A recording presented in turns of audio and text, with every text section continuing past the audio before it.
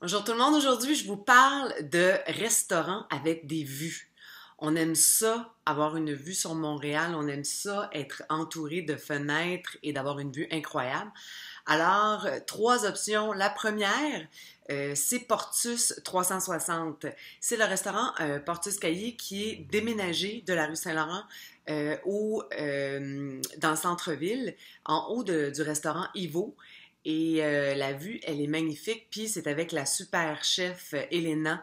Donc la bouffe est incroyable et c'est le restaurant qui tourne. Alors, euh, si vous mangez durant deux heures et demie, trois heures environ, vous avez le temps de faire le tour de la ville.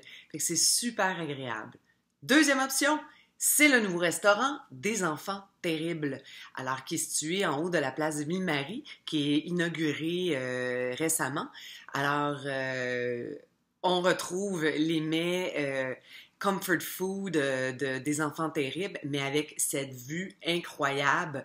Pour ceux qui sont déjà allés au 737 euh, dans le temps comme moi, on se souvient de la vue qui est magnifique et les fenêtres sont vraiment immenses. Alors, le soleil, et ils font des brunchs, ce qui est intéressant. Alors, bonne deuxième adresse.